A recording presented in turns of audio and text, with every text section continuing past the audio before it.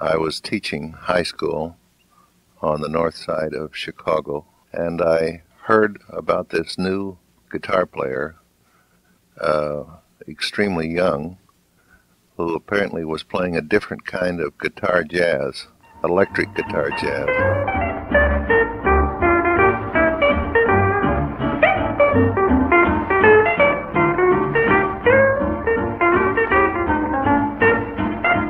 He was 17.